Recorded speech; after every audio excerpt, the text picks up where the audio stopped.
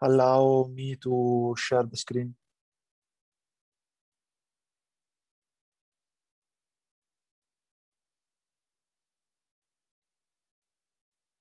Does Okay. it work now? Okay, yes.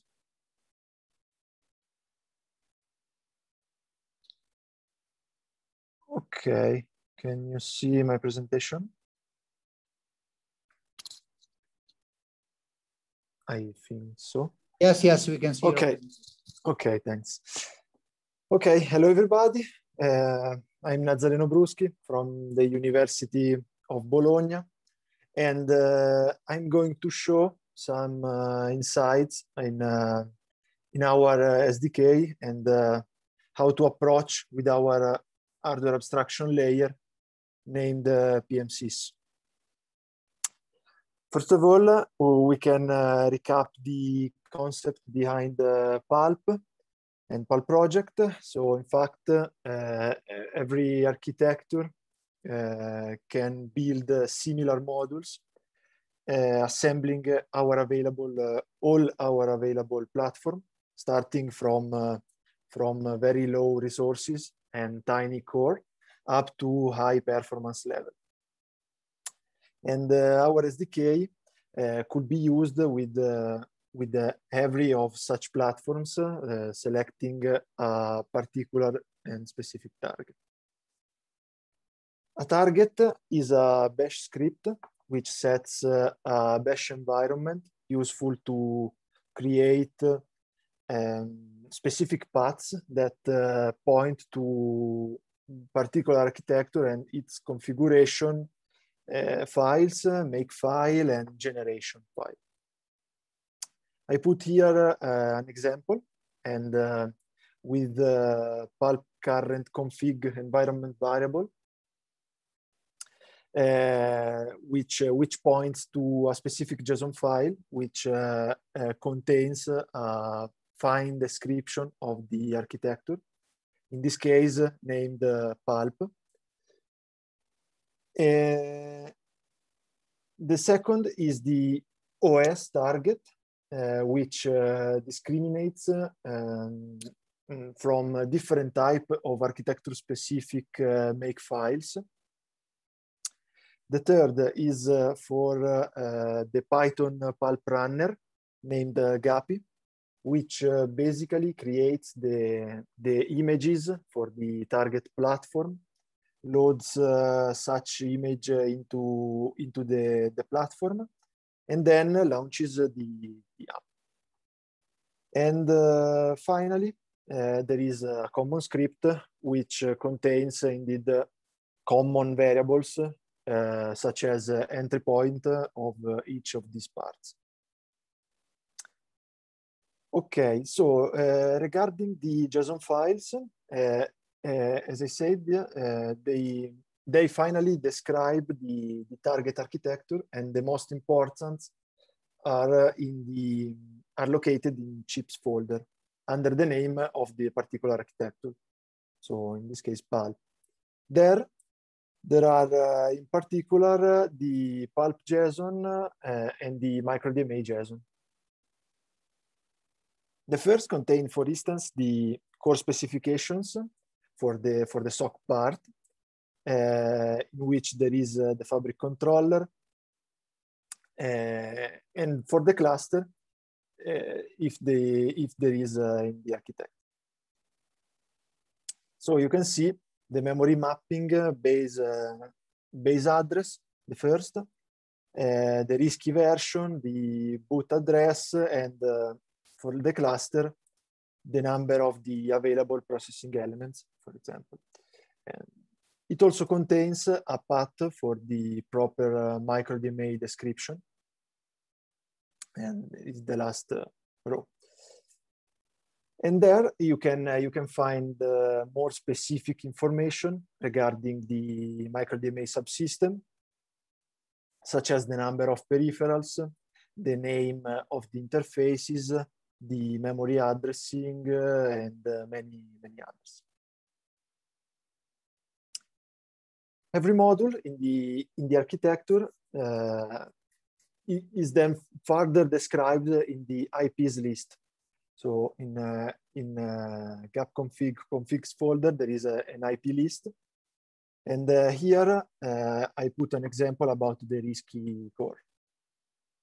These information are uh, used by the generators, the runner, and by the simulator to modify the model behaviors at runtime. Then uh, exporting uh, PulpOS target environment variable in the, in the bash script. We can select the correct files, as I said before, for the, for the specific platform and uh, toolchain. In our case, we point to Pulp MK, in which uh, we can see GCC options, uh, flags, and uh, other toolchain information and requirements that we, we will see better with the Giuseppe presentation. We also have a definition of the number of Ps, for example, in the cluster for, for the compiler point of view.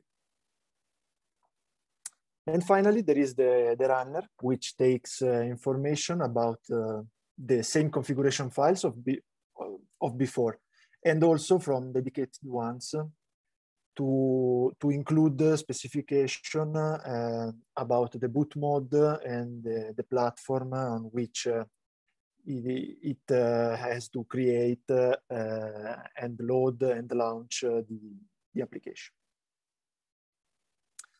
Okay, so if uh, if we wanted to add a new target, for example, a Pulp Open target, but uh, with uh, 16 cores on, the cluster side. We should, uh, first of all, create a new target bash script. So for simplicity, we can duplicate the, the pulp open and, uh, and then modify the name of the three environment variables that we have discussed so far. For example, naming them pulp 16 as in, as in this picture. Then we have to create a, a new configuration file for the new architecture. We can, uh, uh, again, duplicate uh, that of pulp and then uh, change it, uh, change its name in uh, pulp 16. And there we have to modify, at least for, for our purpose, the number of Ps in the, in the cluster class as highlighted in this, uh, in this uh, picture. Then uh, we have to link this file in the configuration folder, which is selected in the, in the path exporting. So if you remember the pulp config, current config um, environment variable points at this um, folder. Uh, the link uh, is more reliable and easy to manage uh, if there is modification in the original file, which is located in the, in the chips specific folder. Then we can move on, create a, a proper makefile for our new architecture, modifying the toolchain flags and setting the default parameters, such as the number of uh, processing elements uh, in the cluster. And finally, we have to modify the runner configuration, passing to it the, the right configuration files uh, created, uh, file created uh, before. Okay, so now I can switch to my, um, I can switch to my Okay, virtual machine.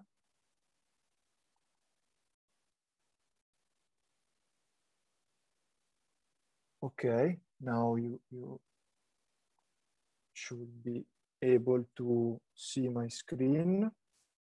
Okay, from a fresh uh, terminal. I can go to my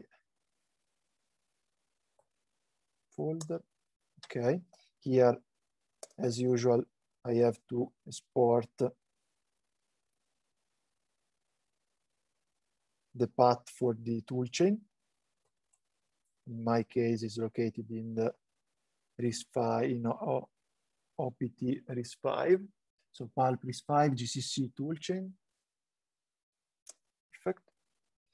Okay, here uh, I have just created the the the proper file. So as you can see, I created, I have created uh, config uh, so the bash script, the, the target uh, located, uh, the, the, the make file for the specific target, pulp16, the, the, and the three JSONs that uh, are located um, in uh, chip's specific folder, the, and its link which is uh, located in config. And then uh, the uh, the one for the for the runner. Okay, so now to to test test it, we can go into the hello uh, test. And there uh, we can compile a run application using the, uh, the usual command. So make clean all run, use cluster equal to one and num cores, in this case 16 because we, uh, we now have, uh, oh, sorry, I missed it to source the, the proper configuration file. So uh, source configs pulp open dash 16. Okay, now we have to, we should test again. So should be test. No. Make clean run use cluster equal to one and numcore equal to 16.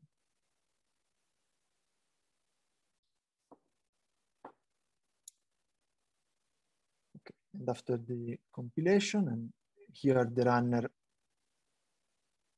could generate the, the proper uh, chip with uh, now 16 uh, P's in the cluster and the and the test, uh,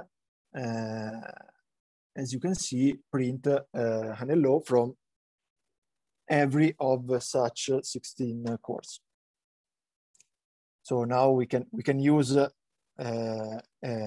again eight core, for example, and uh, it doesn't change because uh, the the configuration create a chip with 16 cores, but we can, uh, again, use uh, not all of, of these.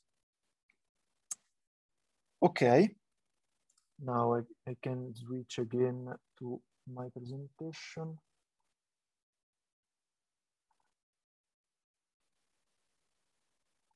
Okay.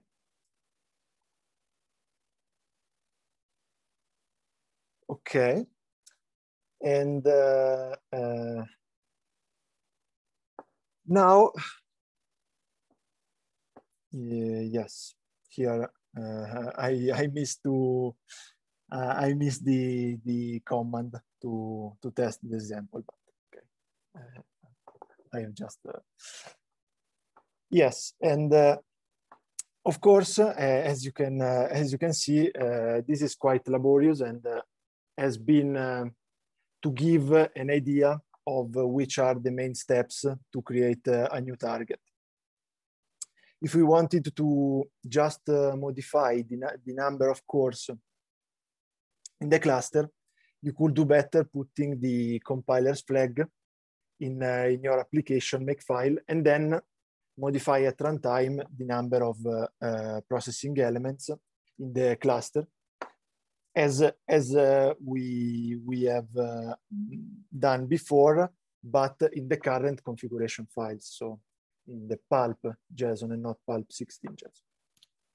And this will produce the same effect without creating a new target and uh, uh, yeah, is more faster. I can switch again to show which are the files. So from here we can uh, we can uh, open, for example, the tools gap dash configs configs chips pulp and inside pulp there is pulp.json which uh, describes uh, the the pulp platform pulp chip and uh, here in the cluster uh, is uh, the the file that uh, I have shown before. So with, with the, every of the description of the, of the chip. And uh, in the cluster side, uh, I can modify the number of P's in 16. Then in the application make file,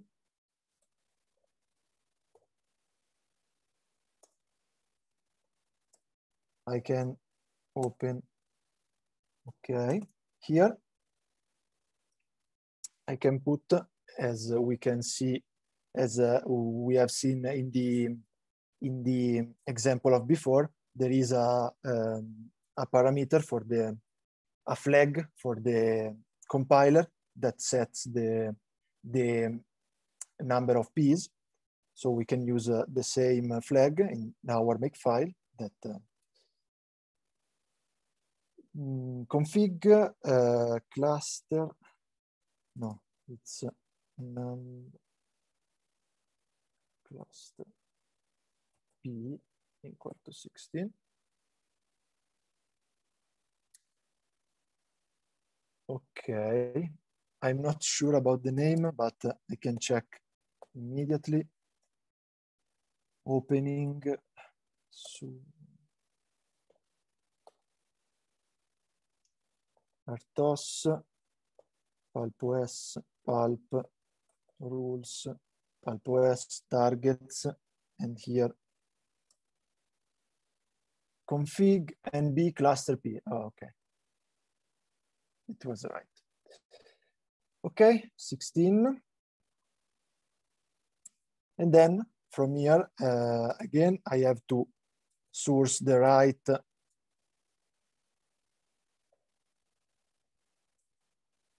configuration file. So now is pulp open because we we have modified the current uh, target architecture, so pulp.json. So we have to uh, source the right configuration file. And without compiling the, again, the simulator, GVSOC, because we, we have not uh, changed the the, the models uh, and the code of the GVSOC, we should be able to test again. Also test. Hello.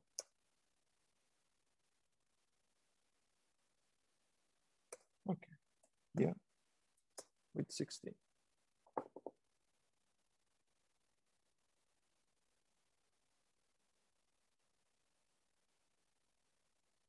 okay, it's working. And uh, and uh, yeah, this this example is uh, um, is extendable, let's say, for uh, mm, another number of cores. For example, if we modify again this number, for example, put in 24, and in makefile, put in 24, and here put in 24. At runtime, the, the simulator change the uh, change this uh, its uh, its behavior, let's say, and the model and models uh, 24 um, 24 cores. Indeed, uh, we have we have the 24th hello from the the core. Okay, let me switch back to the presentation.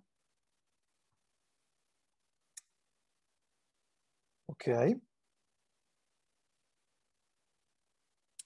Oh, again, the, the command. Okay, and that's it for the target and uh, useful files to navigate, to understand the, the structure and the descriptions of, of the different architectures. Now we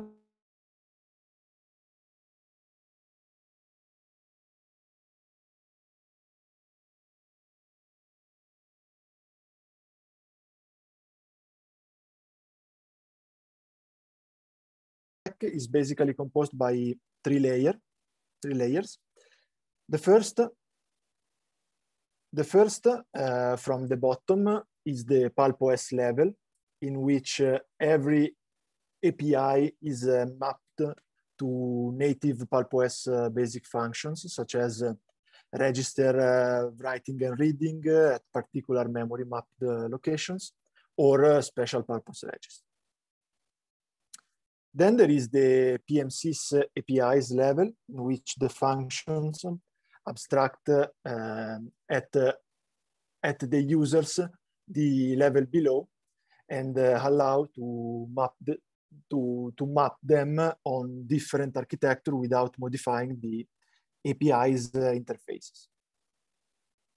And finally, there is uh, and finally, there is uh, the BSP level, in which uh, every API is specific for uh, external devices, which are uh, interfaced with, with the SOC through the IO, IO peripherals. In the following slide, we are going to better understand which is the idea behind every level in order to program pulp in all its complexity the basic, the basic concept uh, behind the hardware abstraction layer is the PMSIS device. Basically, PMSIS device is a C structure that uh, contains a specific description about the particular device. Then every, every API can use uh, this structure to do, um, to do common operations, avoiding to write uh, specific specific code for different versions of, of, the, of the device. The structure definition is located in the PMSIS APIs directory uh, in, uh, in PMSIS types.h uh, header, which is uh, automatically included uh, during the, the compilation phase. So uh, the question is, which are the devices in, in Pulp? In this architecture, the devices are the cluster and the external devices, which are, for, for this reason, uh, BSP devices. To manage the devices, there is a common procedure in order to initialize the uh, device structure with the current, uh, with the correct version uh, specific configuration. So to, and then to, to use it in the program and then to free the resources if is needed, so with the close. For example, if we look at uh, the cluster ones, we firstly have to define the device and uh, its configuration, which is uh, another structure. Then we have to call the configuration initialization, to assign to every structure component the correct device parameters. So the, the cluster and the cluster conf in this case. The API's definition are located in the drivers folder under the PulpOS directory, and you will have a look um, later. The nice thing is, that uh, also for the BSP devices, the procedure is the same of the cluster, despite uh, they are very different devices. First of all, uh, being uh, BSP, they require the higher level of uh, abstraction. And for this reason, uh, we have to include the BSP basic functions with the, with the include in the first row. But apart of this, the other configurations are uh, equal, but, uh, but specific for the device, which is, in this case, is an hyperram. As you can see, uh, the, the, same, uh, the same functions uh, of before. So the confinit, the open from conf, and the uh, open. Uh, and uh, is located uh, again in the, in this case, in the PMSIS BSP library under the RAM and the RAM.c, but we will see later. And uh, uh, okay, now we can see more detail uh, inside the APIs and which are the main, their main purposes. Starting from the top, at the cluster side, we have the init function, which is uh, attached in, uh, in, this slide. As we can see, it basically takes uh, as argument the, the cluster conf structure and then uh, sets, uh, sets some of its element. From the flags, we can see how this uh, cluster is a fork-based cluster so basically the, the application will have to, first of all, uh, uh, be forked and then the course will uh, have to be fed with the forked uh, tasks. Again, the, the API definition is in the cluster drivers uh, folder. Regarding the HyperRAM, the concept is the same, but more operations are needed, mm, as you can see. First of all, the hyperram is uh, at the end uh, a RAM. So for this reason, the RAM is, is uh, less specific than an hyperram. And uh, this function configures the less specific configuration with the high level ones. So the RAM and the hyperram API respectively. For example, the first row assigns a, a list of APIs to this RAM from a specific HyperRAM list, which might be different for, from uh, an, ISP, uh, NSPI RAM, for, for example. So the uh, we could have a, a SPI RAM which which can have a different API and with this with this um, let's say function we can set a less specific device such as RAM. Okay. And then um, in the last row, we can set um, chip specific configuration, which are uh, which are the following. So with the BSP HyperRAM config. the, the interface, uh,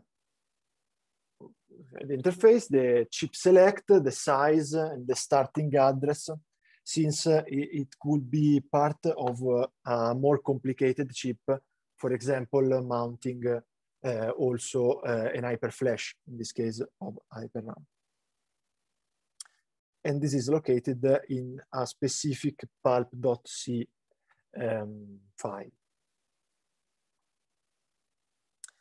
Then there is the, the Open from Conf API, which is actually common to both uh, devices and uh, in general to every device because uh, it's quite simple uh, taking uh, as argument the previously initialized configuration structure and the device and then sets the config field of this laptop.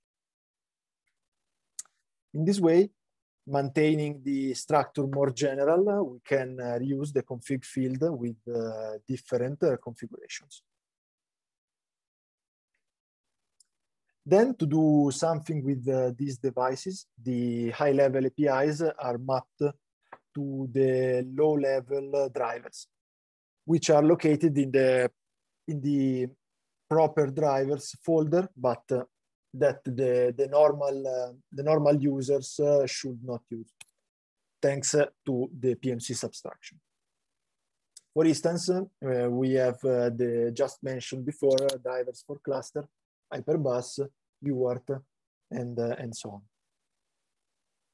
In this first, for example, we can see the initialization the functions to build and offload the task and uh, others such as uh, events creation and, uh, and other function to, to, to create, build and, and use the cluster. In the hyperbus, we can see functions that to, to set up the peripheral, to read from, from it, and uh, other stuff such as uh, channels allocation uh, and uh, writing or reading uh, status registers. And for the UART, the things are similar, but with uh, different commands and different register, of course, with respect to the hyper, hyperbus. There are also other useful stuff that helps to abstract the complexity and the hardware layer and those are the HAL and the archi. The latter is a container for uh, uh, every architecture definition, such as uh, memory map, list, and um, list and ID of the IPs, list of events uh, for the event unit, and so on. The former is the real container for the lowest level of the stack, containing uh, every bare metal function that writes uh, uh, directly the architecture um, registers. So more, more specifically, the archi are uh, header files located under pulp OS directory as uh, pulp archi. There are uh, chip specific files located in chips mm, which contains which contain every information useful for the runtime PMSIS and uh, also for GVSOC, such as the, the properties uh, of the chips and the, the memory map. It also contain, uh, contains a file named uh, pulp.h, uh, which include every module of the chip, attaching the information about uh, which peripherals and which version has. It selects also the, the right header files uh, for, for each specific uh, architect. Then uh, the, the properties contains useful stuff such as uh, the memories, the versions of the IPs, the available peripherals, and, uh, and so on. As you can see in, the, in this extraction. The memory map instead, as a name suggests, uh, contain the description of the memory, including uh, all components which are uh, memory mapped, such as uh, the, the SOC peripherals, the fabric controller, the cluster, and so on. And here we can see the, the, the, this part of the, of the chip. Then there is the module description, such as uh, core definitions and mapping, uh, cluster events and peripheral specifications such as uh, its register map and commands to program the module. Uh, of course, not all are used in every um, in uh, every uh, chip, but many are useful to define the, the correct behavior of the drivers and of the simulator. It depends uh, from the from the chip. But uh, yes, in in this file for uh, in this file there is every of um, of these specifications.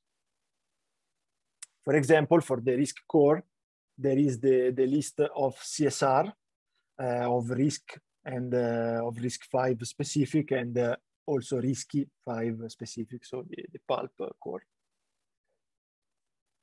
For the DMA instead, there is the, the list of commands, the, the masks, the bit fields, and so on to, to indeed uh, program the DMA. And for the hyperbus, there are similar stuff such as uh, peripheral definitions, chip selects, uh, memory map for different channels of the hyperbus module, and many, many other. Finally, the, HAL are equivalent to the ARCHI, basically. There is a, a proper folder and the ARCHI pulp.h uh, is, uh, is included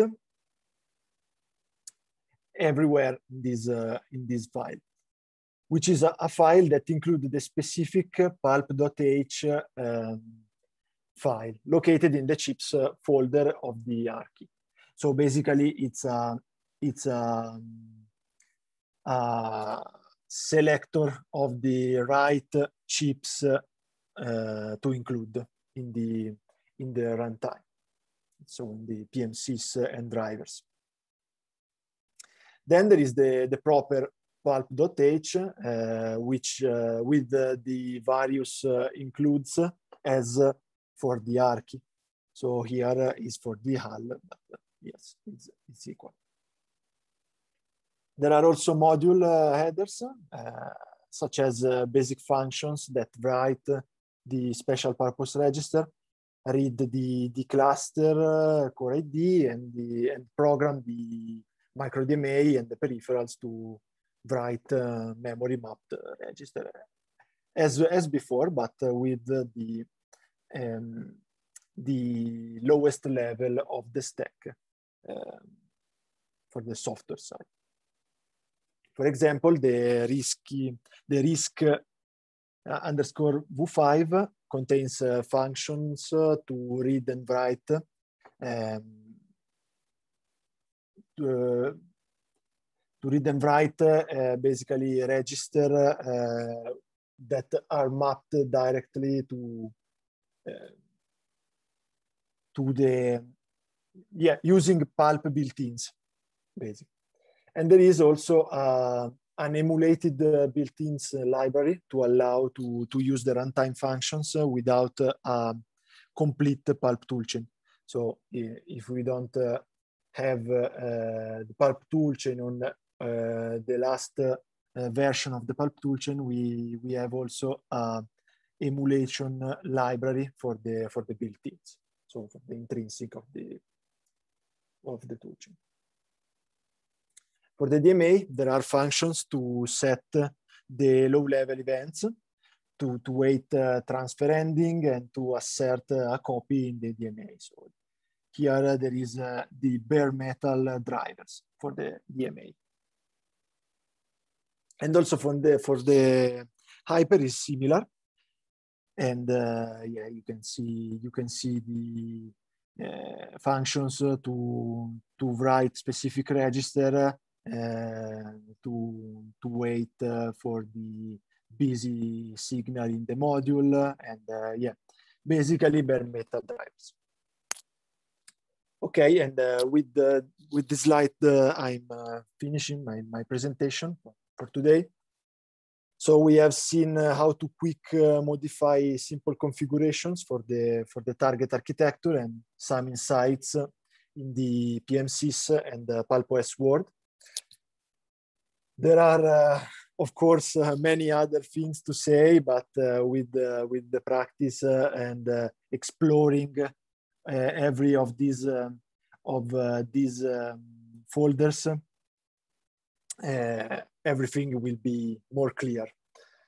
So thanks everybody for your attention. And uh, Davide, if we want to say something. Uh,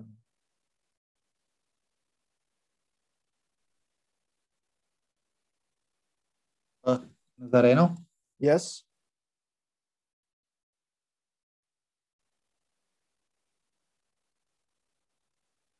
Okay, sorry. Okay.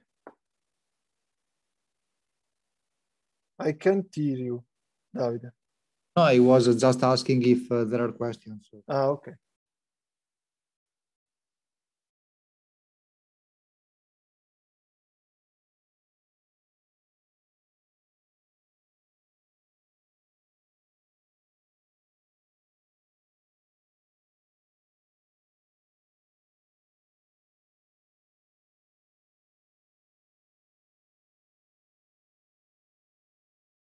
Okay, so if there are no questions, uh, uh, I think we can go ahead with the presentation.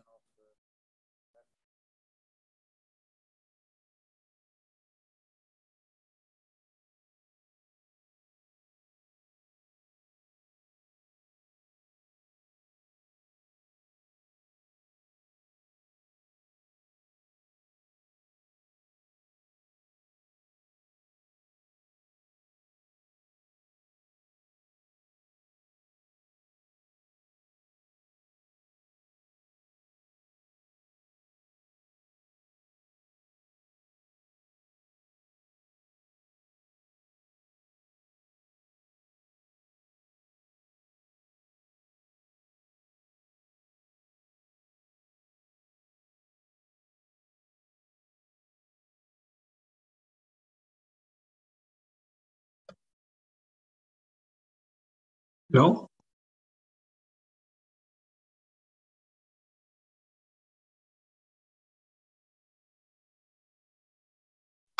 Okay, so Giuseppe has some issues with the microphone. Uh, start soon.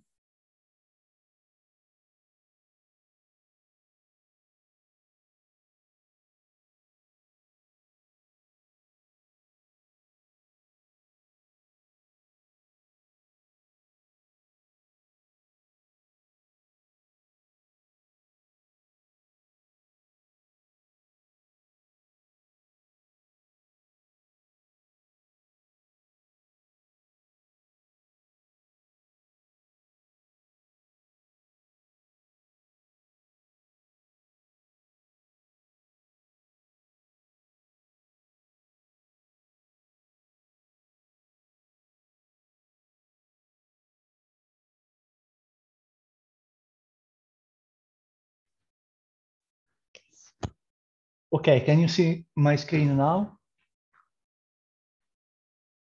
Okay, thank you.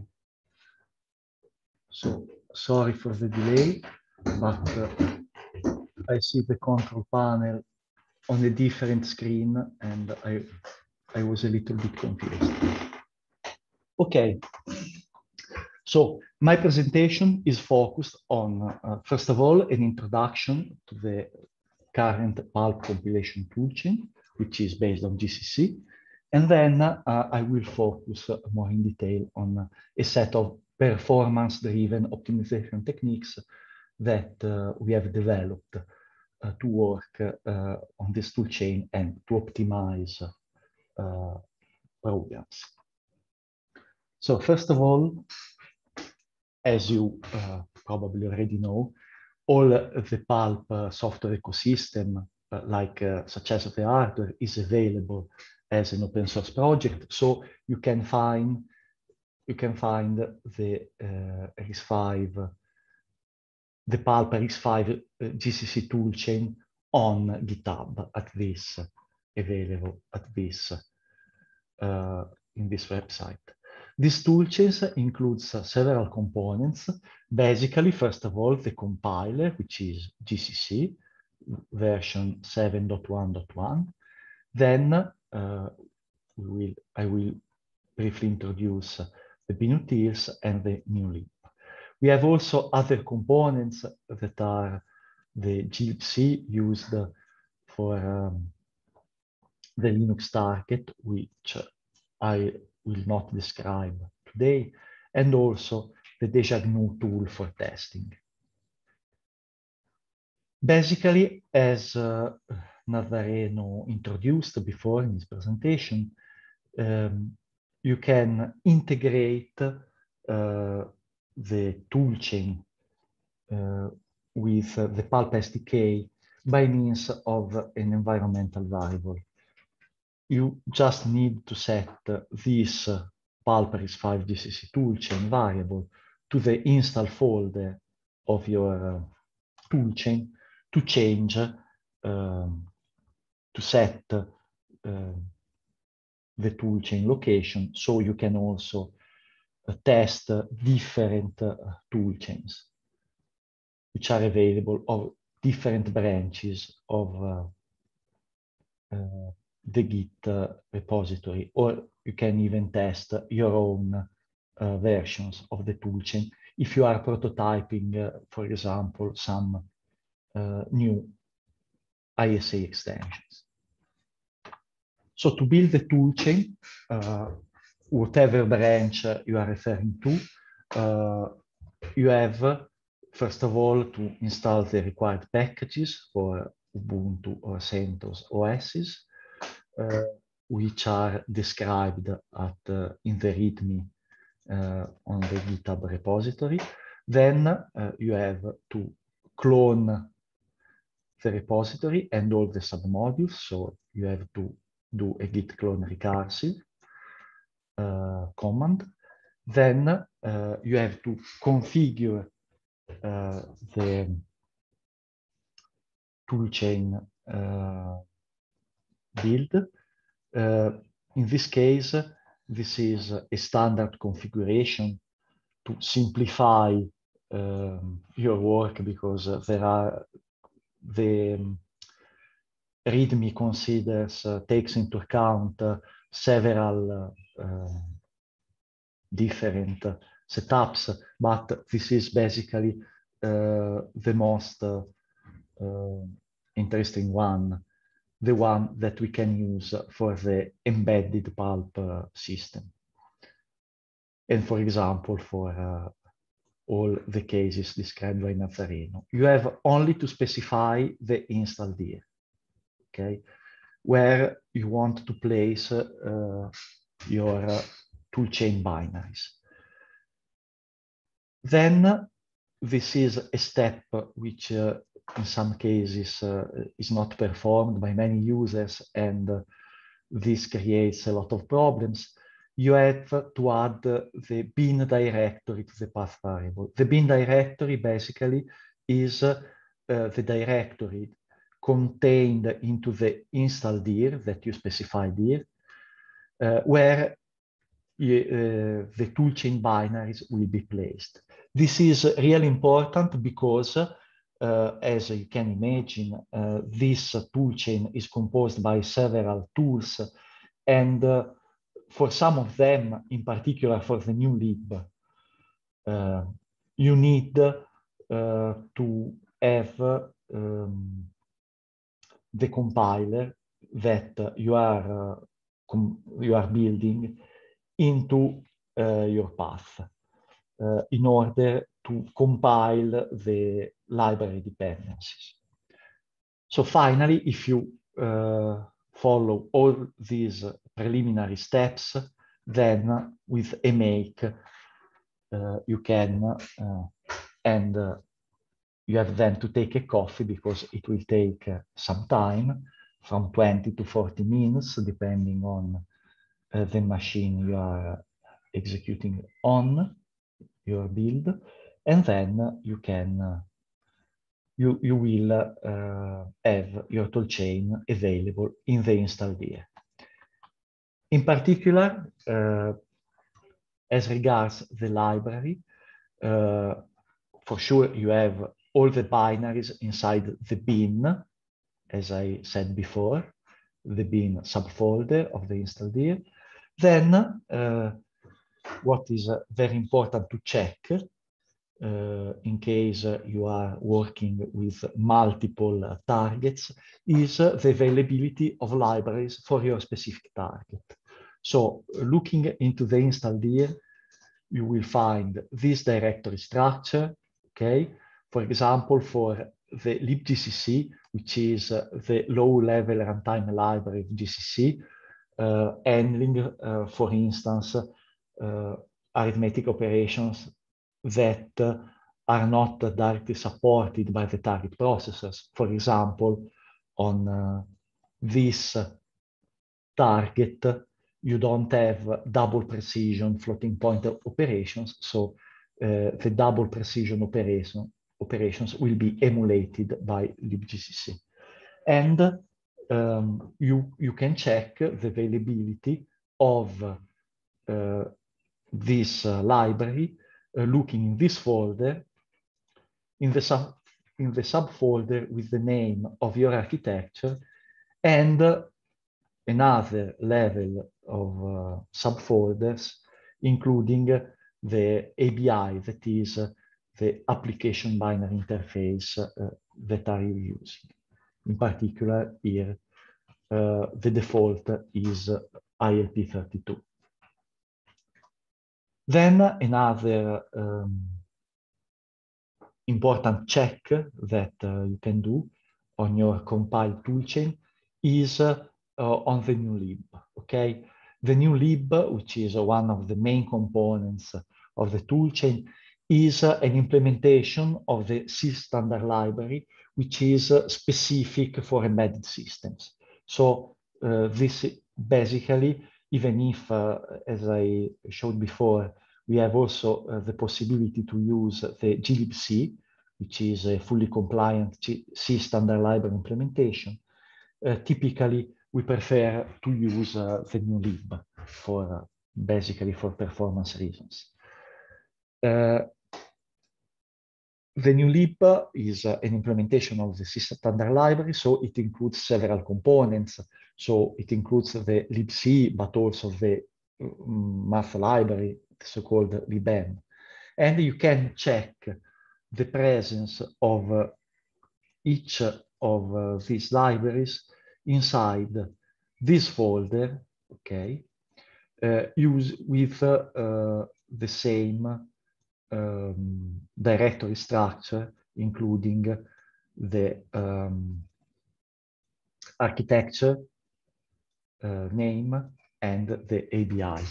Uh, this is quite important because in some cases uh, you simply you can simply lack uh, an implementation uh, for uh, the target you are trying to run so you are not able you are not getting the result that you are expecting or you are not able to uh, to execute uh, library code okay. So this is a, a check that uh, can be very useful when you are prototyping uh, new code. Okay. Now I will uh, focus a little bit on uh, my discussion on uh, compiler options that are specific for RISC-V and also for uh, PULP. five specific compiler options, the mo most important one are the march, uh, which uh, is, I would say, the most important option because you can specify the ISA string. Uh, basically, you have a default, okay, which is this one, but uh, the default Eh, does not include, for example, floating point operations and the PULP v2 uh, eh, extension, which eh, you are you need probably to use for if you are programming with PULP. So this is is very important. And if you look at the um, output of a typical Makefile compilation using the Pulp SDK, you can see that uh, there is a default uh, which is uh, related to the architecture you are using.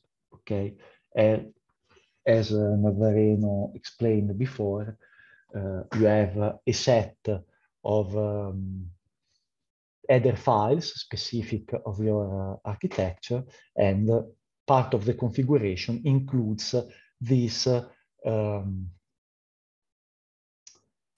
compiler uh, default options.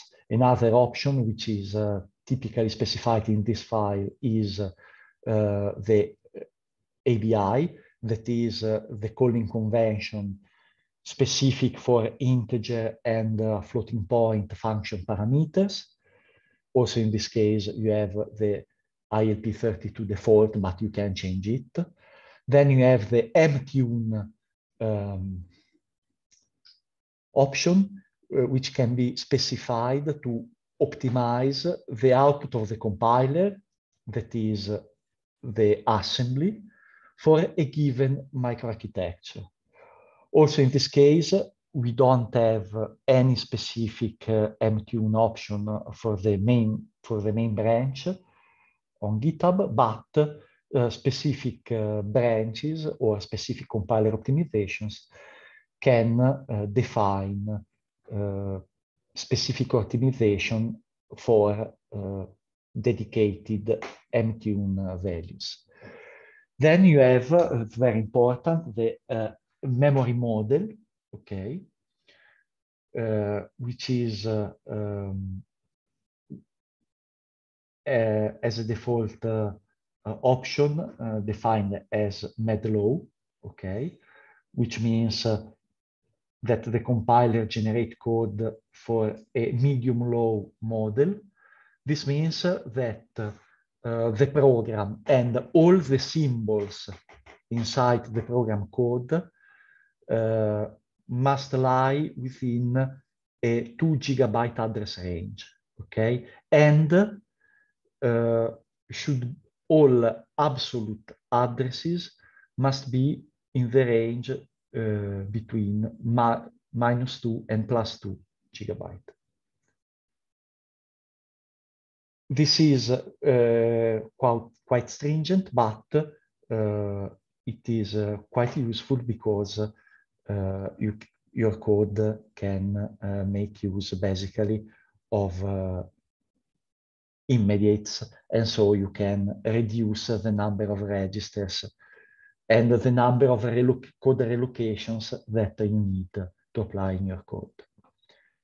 Uh, in case of uh, the medium any code model, which is the other option you can specify, then you don't have any uh, limitations. In this case, all the, uh, the symbol um, lie in a, a two gigabyte address range, but you can define as many address ranges as you want.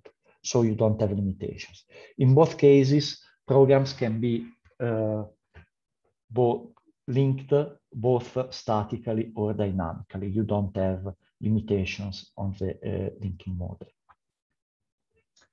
Then we have a set of pulp specific compiler options, okay?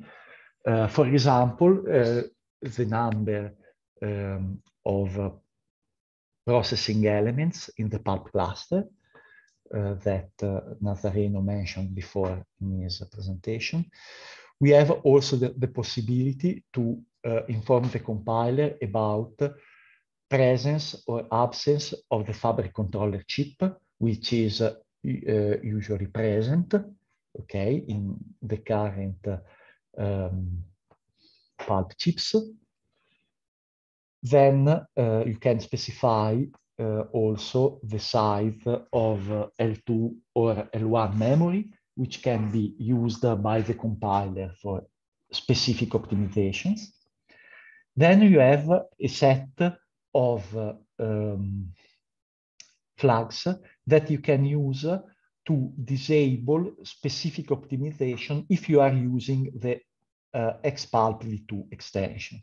In particular, you can disable the post-modification support for the pointer arithmetic, so the uh, post-increment, post-decrement uh, load and stores, basically. Uh, you can disable uh, the load store operations with the register offset, which are part of the XPulp v2 extension. You can disable the support for the packed SIMD instructions uh, if you don't want to use this instruction and if you don't want that the compiler may derive automatically these instructions for you in the assembly. You can disable the hardware loop support, but uh, what can be more, much more useful, you can specify uh, the minimum number of instructions that uh, must be included in, a, in the hardware loop, okay? So if you don't have this minimum number of instructions, you don't uh, create the hardware loop, you, you create a standard loop. Uh, this also is quite important. We will see later for optimization. You have an option to force memory alignment of the hardware loops. Uh, if you force uh, this option, uh, hardware loops, we will start at uh, an aligned address. Then you have other options which can be used to disable specific instructions which are available inside the Xpulpv2 uh, extension. So basically, uh, this can be useful. For example, you can, if you want to compare your code with an architecture without Mac support, you can uh, disable the multiply and add support uh, for this specific purpose. Or you can disable specific instructions if uh, you want to use the Xpulpv2 extension or but for some reasons uh, the, the chip uh, you are designing is not supporting uh, a subset of this uh, extension.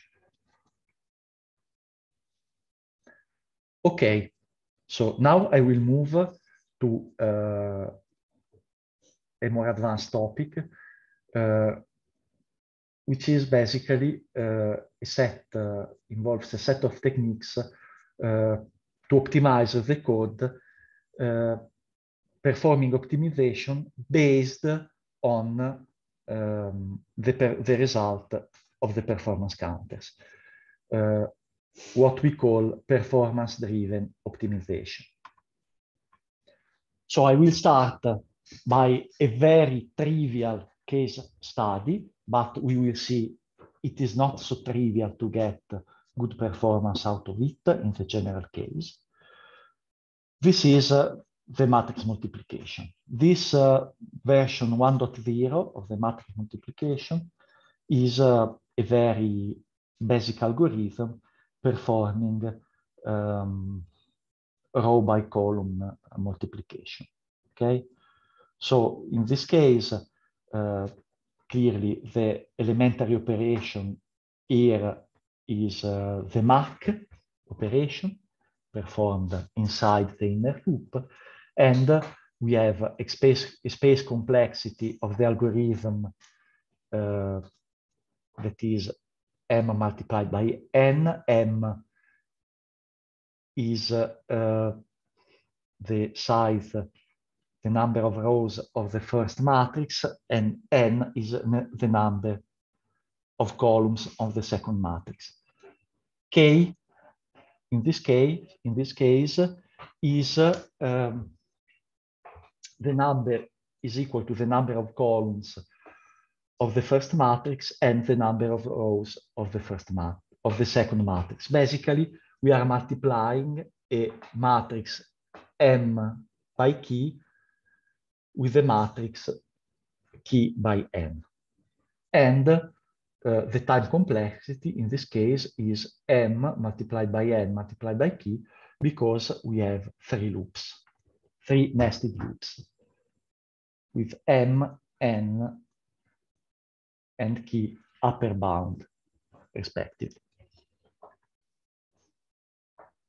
So basically, first of all, uh, we need to derive uh, a good model, okay? Uh, an ideal model, which is a model that we can use to validate the performance measured on our algorithm okay? We need, first of all, to consider a target machine. In our case, the target machine or reference machine is the RISC-V core inside um, the pulp open um, distribution. And, uh, but also in this case, we have um, different possible uh, models because uh, it depends on uh, the elementary operations which are executed inside our assembly. So basically, we can derive uh, this kind of models looking at the assembly code, okay? So in this case, as uh, we can see, uh, we inside the inner loop, we have um, the inner loop is this one. We have two load and a MAC operation. This is um, the um, final instruction inside uh, the loop. So the final instruction inside the inner loop is this one. So basically, the inner loop is executing to load the word instruction and the MAC, and then we have a store operation inside uh, the loop at the outer level. Okay. Then basically we have uh, some additional operations. Sorry, here, which are required to uh, increment counters and to compute offsets to uh, move value between registers and uh, we skip these operations inside our model. Basically, we just consider memory load stores and the key operation of our domain, which is, in this case, like in many other cases, the MAC operation. So in terms of uh, uh, performance measuring, we use the performance counters which were introduced uh, in the last tutorial, so I will not provide further details.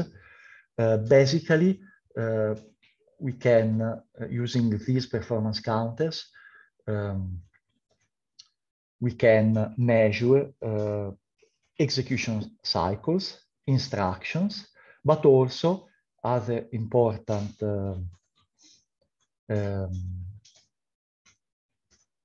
values uh, that I will discuss uh, later in this presentation are the load stores and the instruction cache, cache mixes.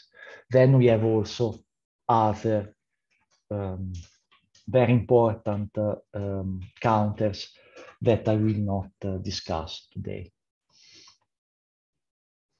So basically, using the performance counter, I use this approach basically I declare the required variables, then I repeat the measures in a loop, uh, and I perform um, multiple executions of the kernel, in this case of the matrix multiplications. So uh, I can, uh, um, for example, um, avoid uh, parasitic effects uh, such as uh, effects due to um, initial cache refilling. Okay, and uh, I can basically accumulate the statistics and averaging them on multiple um, kernel executions. What we get if we um, execute um, the algorithm with this setup, fixing m and n to 50 and uh, moving uh, k to from 10 to 50, and we are executing on the Pal PulpOpen, the PulpOpen platform using uh, the FPGA, basically. Um, what we can see is that measuring the number of execution cycles, we are not exactly uh, on the ideal model. In particular, uh, we are more or less proportional to the model in this region, but we have some overheads. We are below what uh, is expected by the ideal model in this region, and we are upper what we expect in this region. So basically, we have some anomalies. The first, in the first case, looking this one,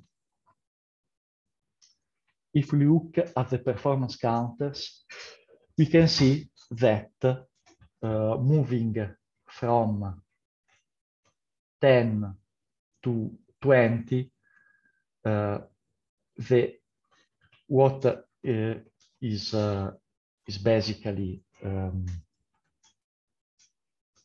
strange is that uh, here we have a lot of instruction misses. Okay. So if we look at the um, assembly, we can see that uh, for this uh, very small size of K, uh, the compiler decides to un completely unroll the inner loop. Okay, that's fine for us, but um, in the, this case, the loop start is not aligned. And if the loop, uh, the start of the hardware loop is not aligned on the RISC-V core, we have a cache penalty. That is what, exactly what uh, is visible on the performance counters. So uh, in this case, we can remove the misses adding this hardware loop align flag, okay? And we can see that we are realigning, we will see later. Uh, but basically we are realigning um, this value. The number of instruction now is uh, basically equal to the to before, just one instruction. We are adding probably we are what we are expecting. We are adding a NOP to realign the um, hardware loop, but we are removing this artificial, we can say artificial instruction miss because uh, the kernel is very compact and uh, we don't uh, expect to have such a high number of misses. And uh, this has an impact, a final impact on the number of cycles, which uh, is the statistic report, the statistic reported in the chart. In case of uh, um, pass the second uh, anomaly, which is uh, passing uh, from uh, 40 to 50, we can see that the number of cycles is very high, and also in this case, the number of instruction miss is very high. We can solve the issue um, increasing, uh, sorry, um, using the same hardware align flag, okay? Basically, we can keep this flag uh, active for all, um, all our cases. And as we can see, we are not remove, completely removing the, the instruction cache misses, but uh, for sure we are removing a lot of them. Another important source of overheads are uh, the load stalls. Okay. If uh,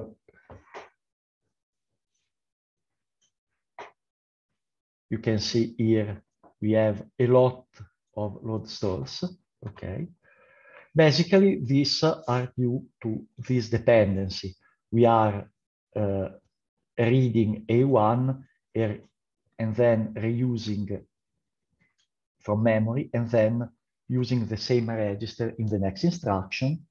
But um, the RISC-V core requ requires one additional cycle of latency to access its local memory, okay?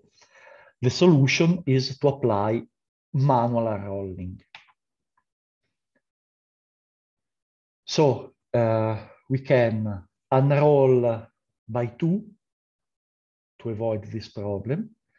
And also, this is not strictly required in this specific case, but uh, I introduce uh, this because it can be very useful in more complex uh, kernels. This is the memory barrier, okay?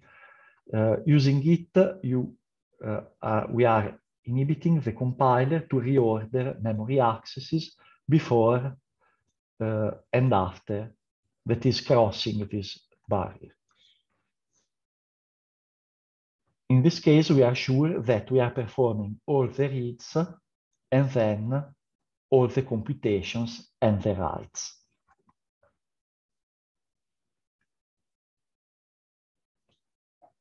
With this approach, we are drastically reducing the stall, but not totally removing them.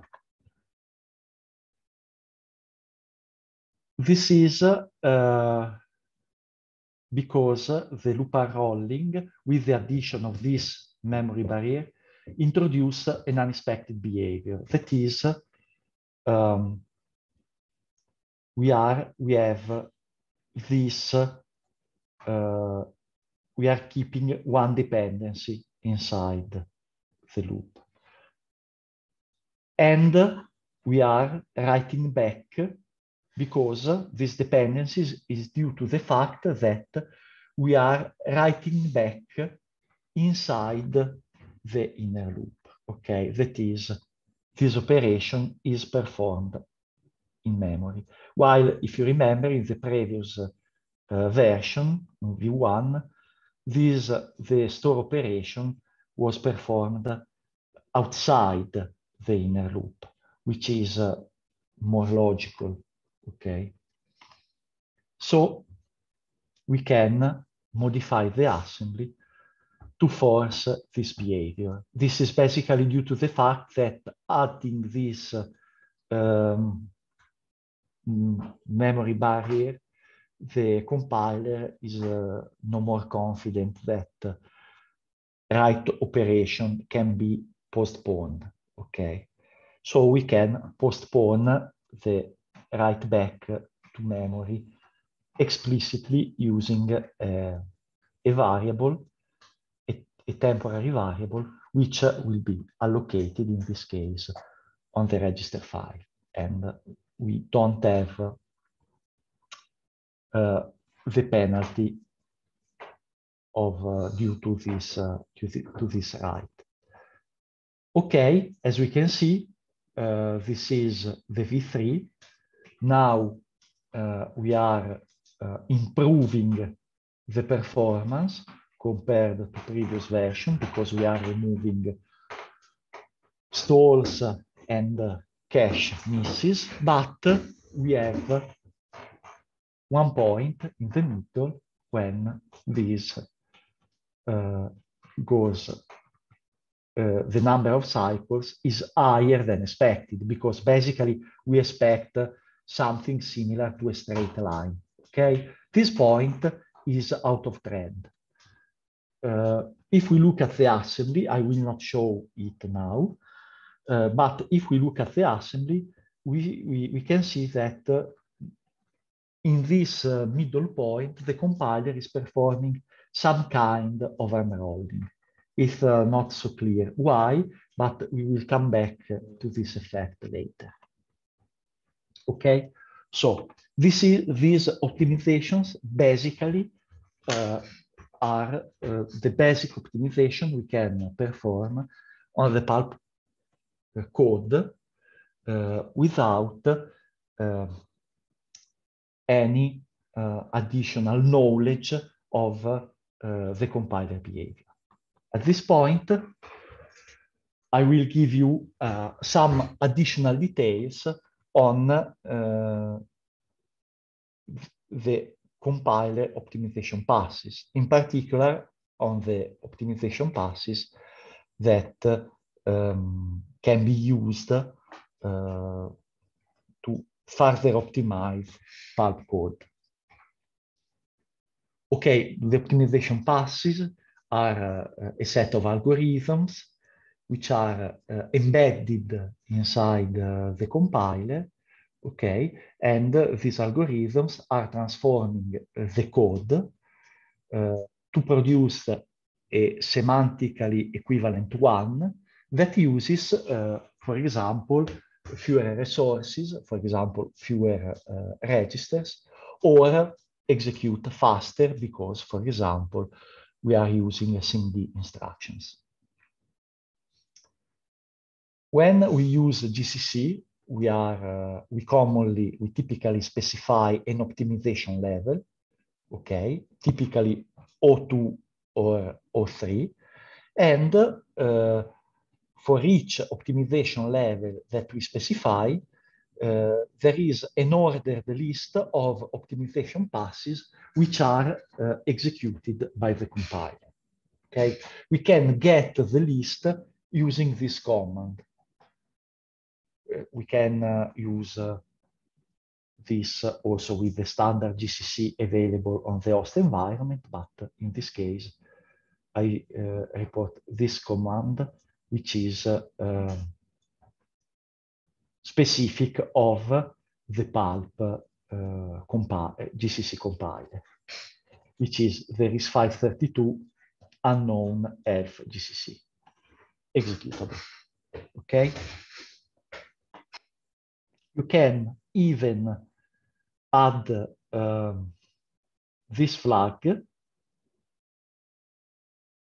to the compiler parameters if uh, you are executing uh, a, your code, compiling and executing your code uh, with the Pulp SDK, you can add uh, all these parameters in the cflags um, variable inside the makefile. So you don't need to explicitly invoke uh, the compiler on your code, but you can use the makefile system provided by the Pulp SDK.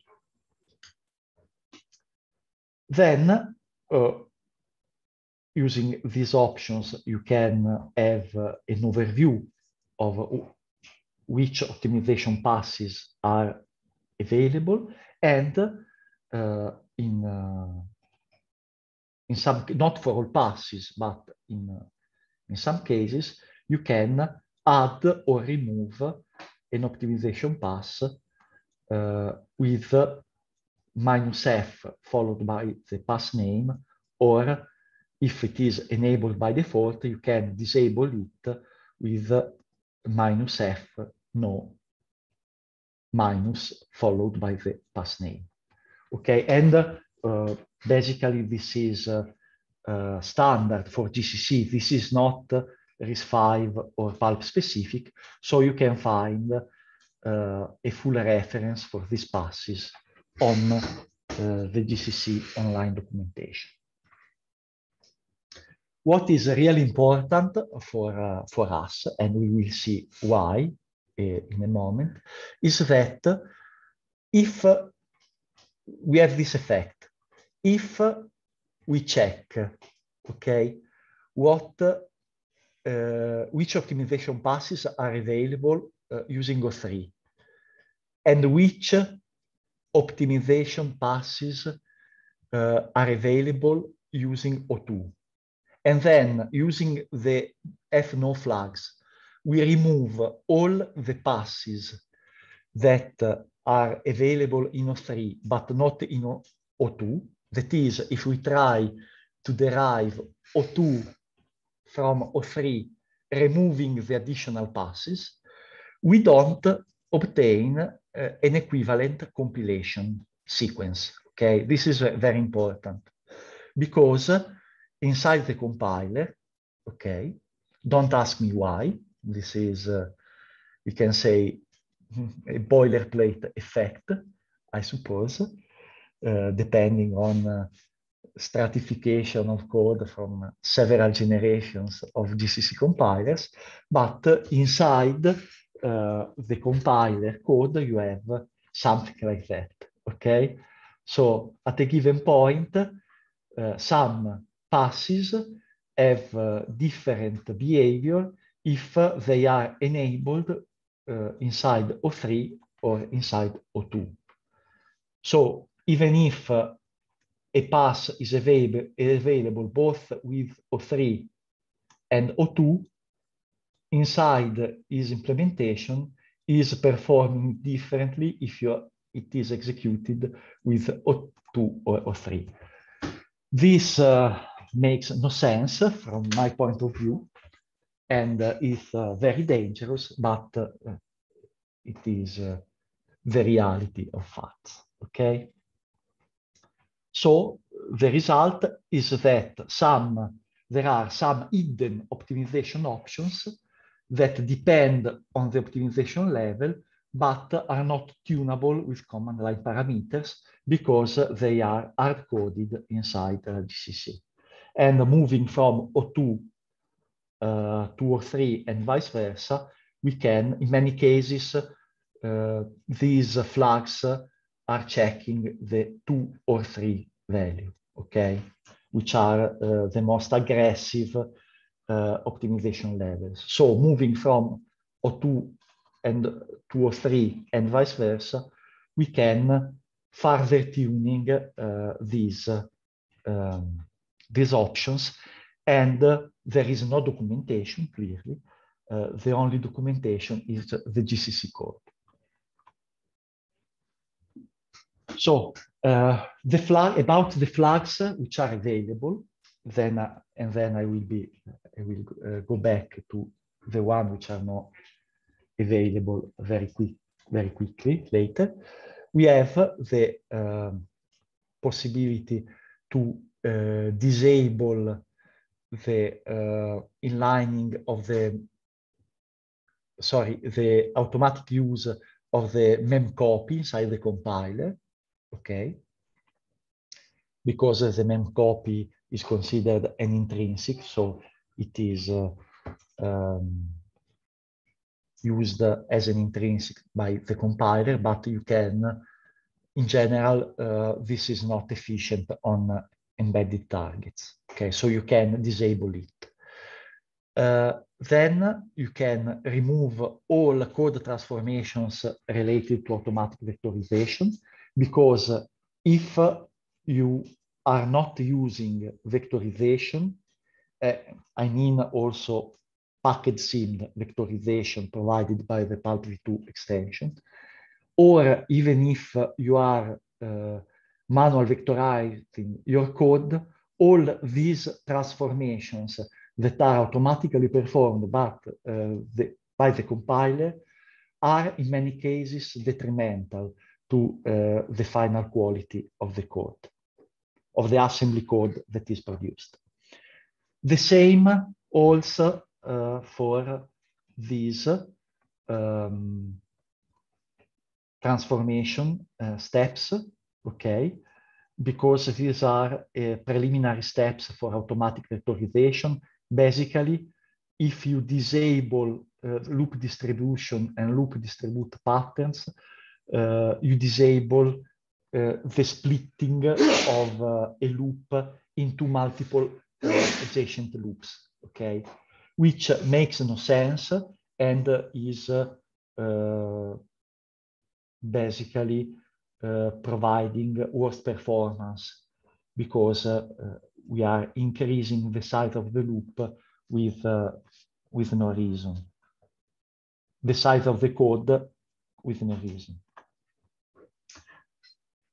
Then we have uh, other um, flags that you can use to tune. I will not go into details because uh, we can stay here for several hours if I discuss all single uh, compiler passes and then enabling or disabling uh, combinations. Okay, but basically uh, these are the in these pages you can find uh, the flags that from our experience uh, you can try to enable or disable in your code uh, to tune the um, basically the the performance okay? And you can check with this performance uh, driven approach if enabling or disabling uh, this uh, um, these flags improves or not the performance of uh, your your program. Basically, if you are not a compiler expert, this performance-driven approach, in any case, is much faster than trying to understand what the compiler is doing for each single uh, flag. Okay. Then, uh, which is very important, we can restrict optimization parameters to single functions in GCC using this syntax. This is very important because uh, I'm saying that you can tune your code using these uh, um, parameters, okay, these flags, but uh, it makes sense to tune single kernels. What is optimal for one kernel probably in most cases is not optimal for another kernel. So you can tune uh, the behavior of single kernels and uh, you don't need to uh, create different makefile rules for each kernel and to put kernels in different uh, compilation units, that is in different files, but you can specify different uh, flags for each kernel, okay? Using these uh, pragma directives. For example, you can specify a different optimization level, or you can also enable and disable specific passes using uh, this, uh, uh, this string.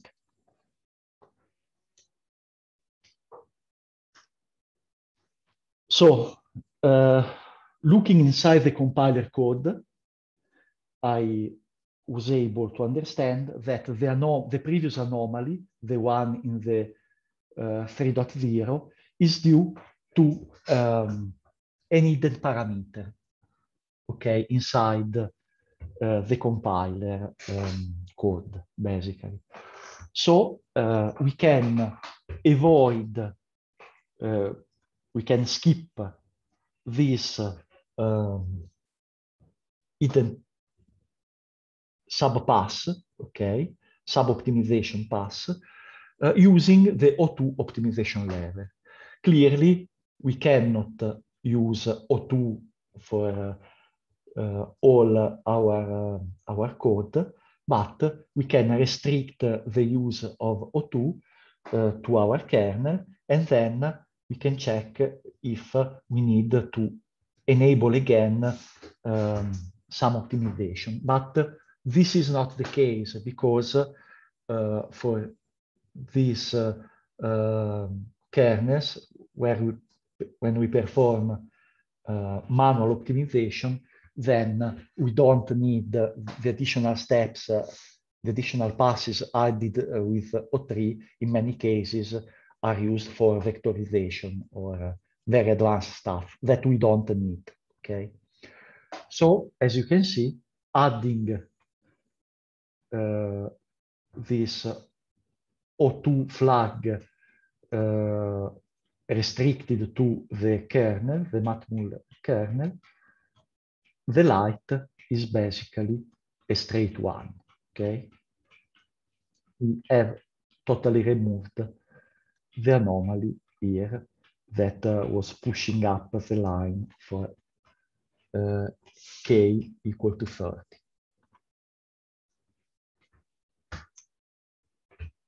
Okay, this is a little bit tricky, uh, you can say, but at the end, uh, with, uh, we don't have uh, total control of the assembly. If we want uh, to keep all the advantages to write our kernels using the C code, okay, which is uh, good for many reasons. Uh, in any case, we have to understand, or at least to investigate the internals of the compiler. And from my point of view, the best uh, way to perform this kind of investigations, if you are not a compiler expert, is uh, to use this performance-driven approach and uh, experimentally tune the compiler options. In particular, the one I listed here, because from our experience, they are um, the ones that um, are really um, involved in these uh, kernel optimizations. So finally, and uh, with this part, I, I'm concluding my talk. A brief overview of the common issues and what uh, we can say the, the best practices to, uh, to optimize, to writing uh, C code for pulp and to optimize this code, okay? Uh, first of all, uh, all the tests I performed, okay, uh, were using, were basically defining uh, these parameters as constants, okay? Uh, as I was uh, showing before in some examples, using constants, uh, we are simplifying the work of the compiler, but uh, the kernel is uh, not as general as we can we can need, okay, in some cases. For example, testing for a specific size, we are uh, propagating constants uh, inside um, the compiler code, and then uh, the compiler is able to perform unrolling that in most cases is uh, increasing performance. But uh, if this uh, matrix multiplication kernel is used, for example, inside um, a real application, okay? For example, if it is used um, inside a convolutional neural network, uh, and it is called by different layers with different um, sides of the input matrices, then the compiler is not able to perform uh, this constant propagation. And uh, the performance we are measuring uh, are different, okay?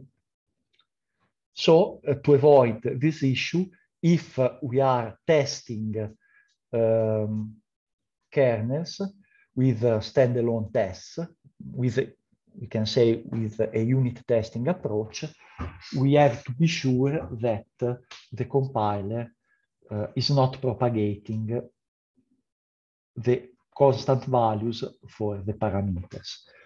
Uh, a technique to avoid this problem uh, could be to declare uh, these values as volatile. Okay, so uh, the compiler will not propagate these as constants since uh, volatile variables uh, basically are not propagated. Okay, this is part of the volatile semantics.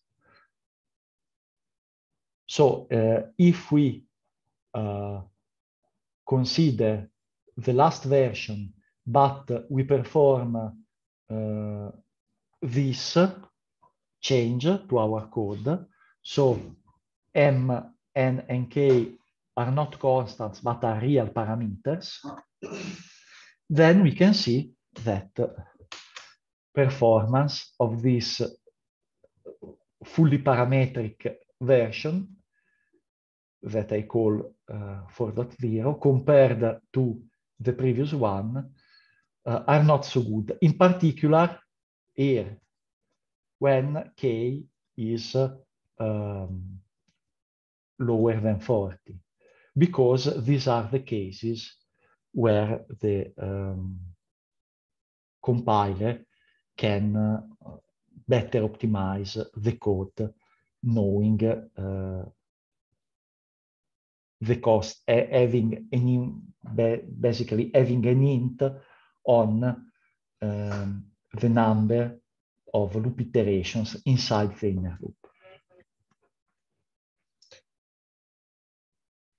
So in this case, there is no anomaly, okay?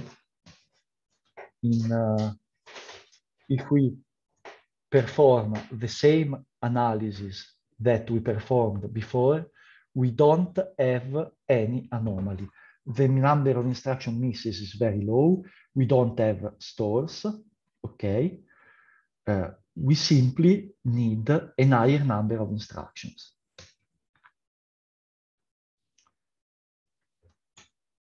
Why? If we look at uh, the code, okay, again, this is the inner loop, the unrolled inner loop, and this is fine. But it, uh, we look at the middle level loop, okay, we see that we have a lot of instructions. We have uh, we are increasing the number of instructions in the second level loop by four and also we are adding branches okay? Why we are adding branches? Because uh, now the compiler must be sure uh, that a sorry a loop not a cycle a loop is executed at least once. Okay? So we have, before entering a loop, we have a check on uh, the iteration variable because the iteration variable now is not a constant. It is a real variable, okay? Uh, so if we are using constant loop bounds, the compiler is able to understand that we don't need this check. But uh, this is not obvious with variables because in, in uh, C, we can specify just if uh, a variable is signed or unsigned, okay? But we, we cannot say it will not be zero. The solution here is to use a do while loop instead of a for or a while loop because the do while um, loop in, uh, in C enforces the at least once execution semantic. Okay, so we can transform our code uh, to use the do while instead of the for or while for all loops when we are sure that the corresponding loop variable is not zero, which is uh, always true for matrix multiplication because uh, the minimum size of a, of a matrix dimension is one, okay.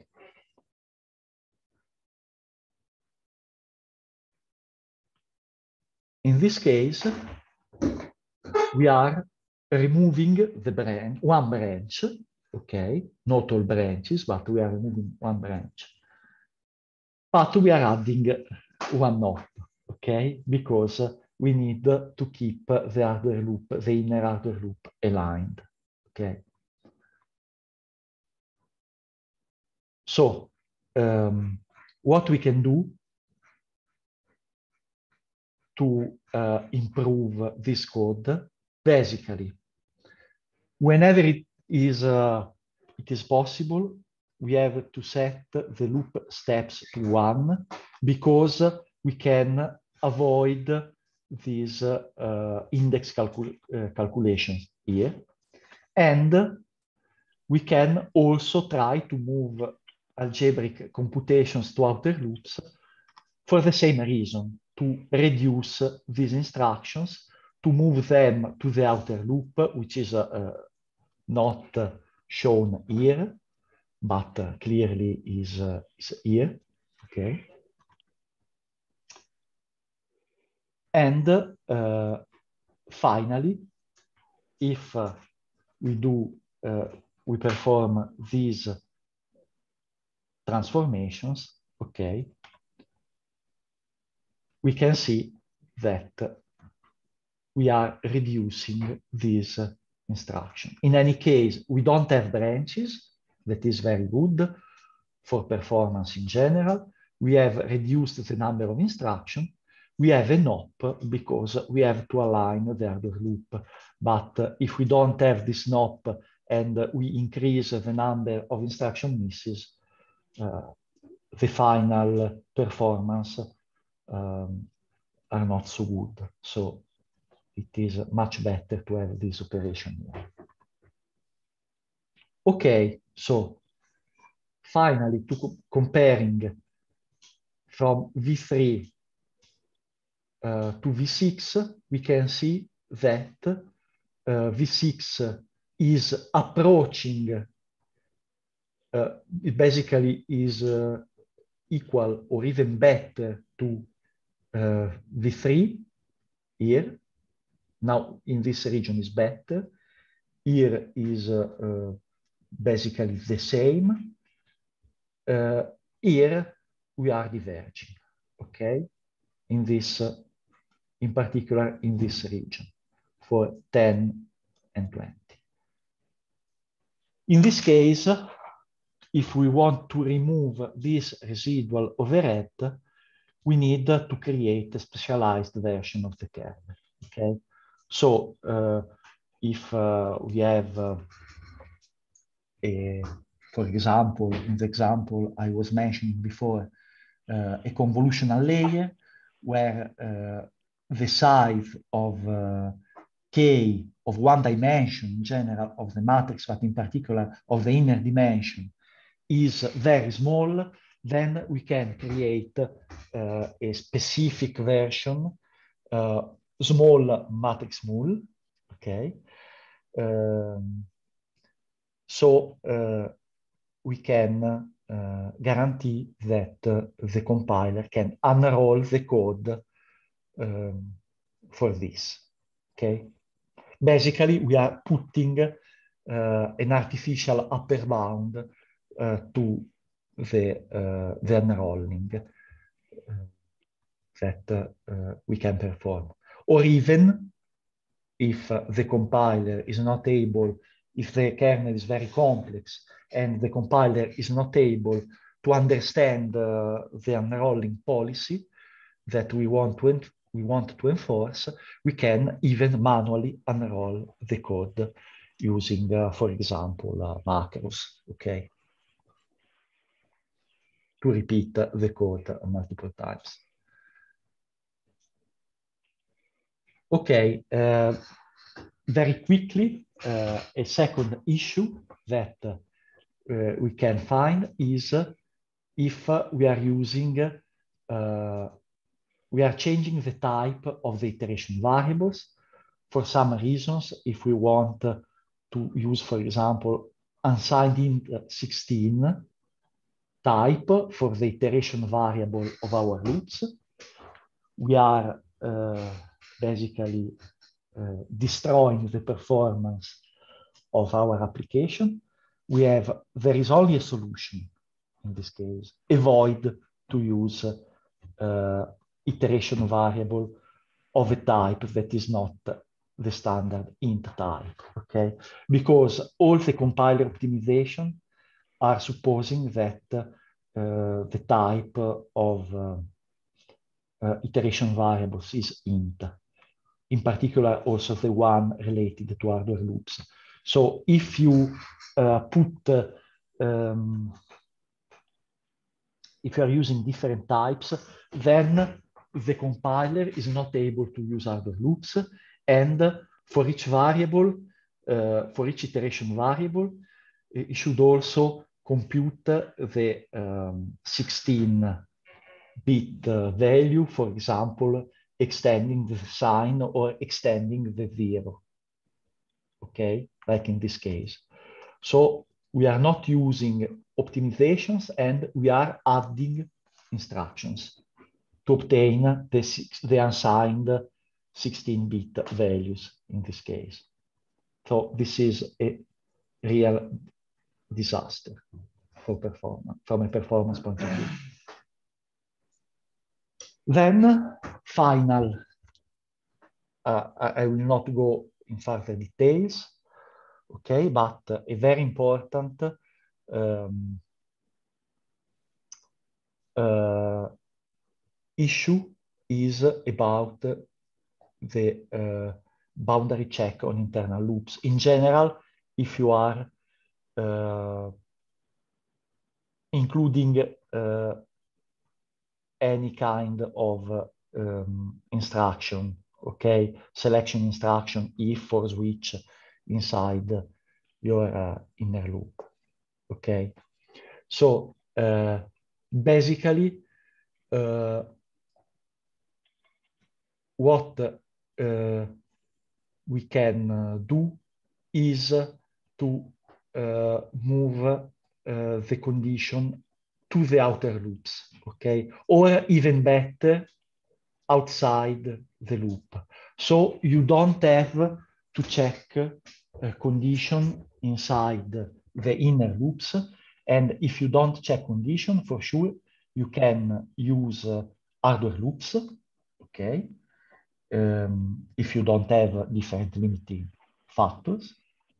And uh, you don't have uh, those annoying branch instructions that um, if are put inside the inner loops are detrimental for the overall performance of the kernels.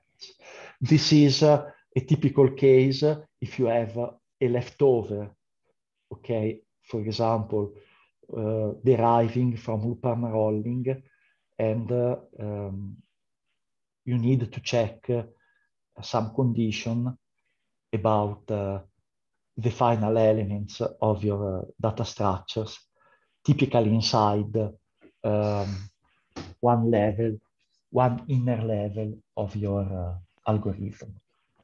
In that case, if you put uh, this condition check outside, probably you have to replicate code. So you are increasing. I was able to log in. I'm listening.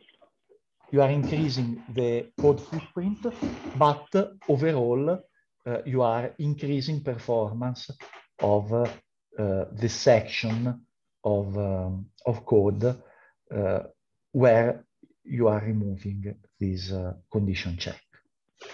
So clearly, then uh, this is a this is, a, this is not easy to understand without uh, an experimental assessment because it is trade-off depending on uh, how much your code is increasing. But in general, if uh, the size of the, the, the iteration space of the inner loops is relevant compared to the outer loops, which is typical in, uh, for many algorithms, then uh, it can be very beneficial to do this kind of code transformations. A final uh, note is the GCC toolchain um, provides the link time optimization, okay? So you can enable it um, and um, just specifying F LTO on both compiler and linker flags. So in your C flags and in your LD flags, if you are using the makefile system of the pulp SDK. And basically, uh, my advice is to enable it uh, always, in any case, because uh, you have uh, link time optimization uh, is increasing a lot in many application contexts, the performance of your code.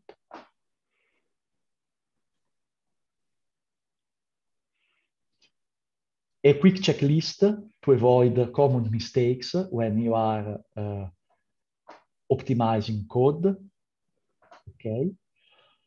First of all, remove all warnings because if you have warnings in your code, if, it, if this is very trivial, but sometimes uh, you keep warnings in your code and it is not, not easy then to understand if uh, some warnings are related to bad behavior or not. And this is a huge problem when you are optimizing code. Then you have always to double check the march parameter in your compilation line, because in some cases you don't get optimized code out of the compiler because you are not using, you are not activating the right extensions, okay? Um, in case you are using floating point arithmetic, you have to check that uh, um, uh, you are not using emulation routines when they are not uh, really useful, okay? For example, if you are using the routines from the math library, if you are using the double version, you have a conversion to double, and then you are executing a double emulation inside uh, the uh, math routine, okay?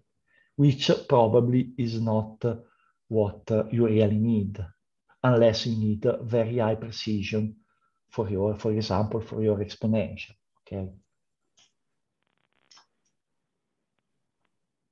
Then, uh, okay, other, uh, for example, always verify data location. I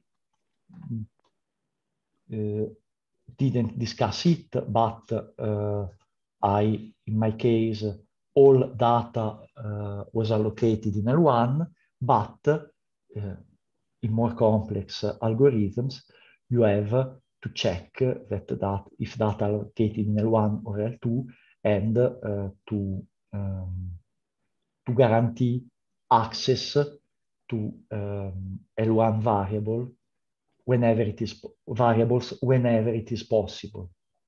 Okay, so using techniques such as uh, DMA transfers and double buffering uh, to avoid um, access, direct accesses to L2 memory because it will increase the number of cycles and it is evident uh, from uh, the performance uh, counters. Finally, this is the most important one. Never apply parallelization techniques before optimizing code, because in many cases, if you parallelize your code, you get uh, very good speed up, okay? Then you optimize your code at a later stage, and then uh, your speed up disappears. Because sometimes a huge speed up is uh, hiding a lot of performance problems because if uh, you don't have good performance in your sequential version, for sure, uh, most of the problems are solved uh, by splitting um, the code on multiple cores. Okay, but this is not the solution. Basically, we want to optimize, I suppose, okay? We want to reduce, first of all, the number of cycles, okay? And then when the number of cycles of the sequential version is uh, um, optimal from our analysis, then we can parallelize it. And then we can check to reduce the number of cycles using uh, parallelization techniques.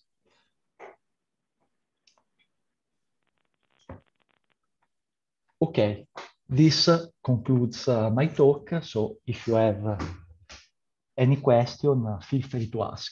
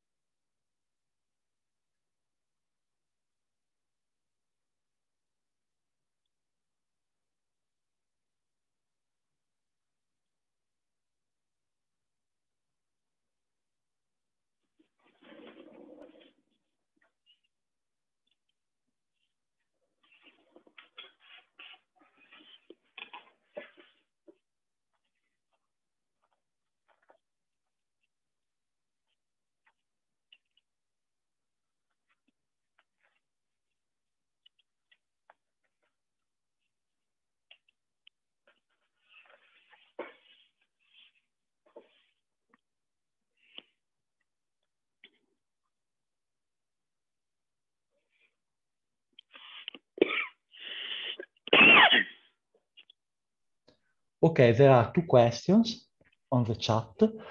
Uh, the first one about uh, the state of GCC v9. Okay, um, we have um, an active uh, branch, um, an internal branch uh, related to GCC uh, v9, uh, but um, I'm not sure if uh, it will uh, become um, the, the new main branch, okay, in the future, because uh, we are also working on uh, later versions, most recent, most recent versions, okay? So it depends because um, in the future uh, we will move um, uh, the support uh, of Pulp Open from uh, RISC-V to the open hardware core, okay, which is the evolution of RISC-V. In that case, we will use probably will uh, move to uh, GCC 12, okay because we are for the, that specific uh, ex extensions, that specific version of the core, we are moving to GCC 12. Uh, in any case, um, you can, uh, if uh, you can use any version of the compiler with, uh, with the SDK, okay? Um, the only limitation is uh, given by the, the extensions uh, that are supported by your compiler. So if, you, you, are not, your compiler is not supporting the extensions you want to test or uh, the extensions that you need uh, to improve, to really improve performance of your code, then th this is a problem. Uh, at the moment, uh, for our for many uh, current uh, research activities, uh, we are still using GCC 7.1.1, but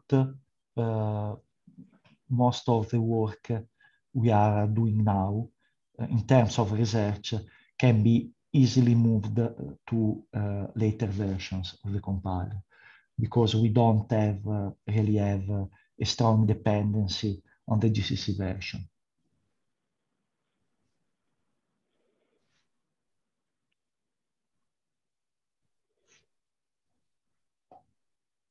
Okay, you're welcome.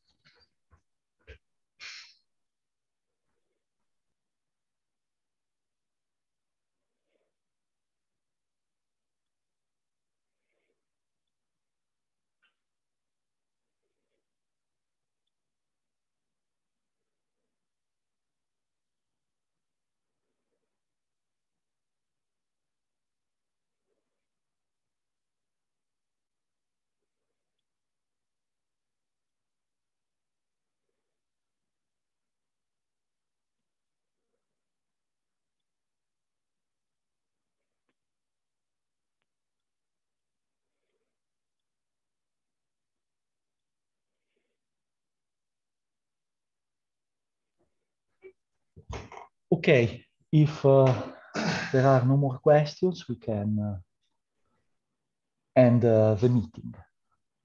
David? Okay. So thanks uh, to everybody and uh, have a nice evening. Thank you.